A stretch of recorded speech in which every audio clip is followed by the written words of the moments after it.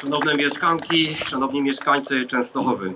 1 maja to Międzynarodowy Dzień Solidarności Ludzi Pracy na całym świecie. Obchodzony jest od 1890 roku dla uczczenia pamięci strajkujących robotników, którzy polegli podczas pacyfikacji pochodów w Chicago w 1886 roku. 1 maja w Polsce jest świętem oraz dniem ustawowo wolnym od pracy od 1950 roku. Szanowni Państwo, 1 maja to Dzień Ludzi Pracy na całym świecie. To czas przypominania o pracowniczych postulatach oraz o naszych prawach. To dzień walki o godną pracę i godną płacę. Praca jest jedną z najważniejszych wartości w życiu człowieka. Dla wielu ludzi jest nawet wartością samą w sobie. Dlatego tak ważny jest postulat godnej pracy.